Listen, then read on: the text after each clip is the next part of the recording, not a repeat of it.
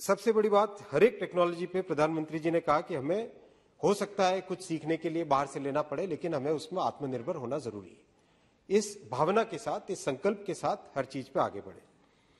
Diesel पे निर्भरता हटाने का एक क्लियर डिसीज़न लिया गया और इस डिसीज़न का सीरियसली एक मिशन मोड में एग्जीक्यूशन किया गया कि इलेक्ट्रिफिकेशन हमें 100 परसेंट ब्रॉड गेज का करना है।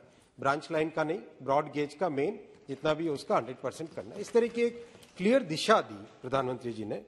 यात्री सुविधाओं पे विशेष ध्यान दिया, बहुत जगह लिफ्टें एस्केलेटर्स प्लेटफॉर्म्स की ऊपर बढ़ाना। मैं नहीं कहता कि सारे के सारे हो गए, लेकिन एक बहुत बड़ी मात्रा में मेरे ख्याल से जितने अध्यक्ष जी यहाँ पे आज मान्यवर सांसद मेरे से मिलते हैं, सभी कहते हैं कि बहुत बड़ा परिवर्तन एक आया है, दिखता है वो परिवर्तन।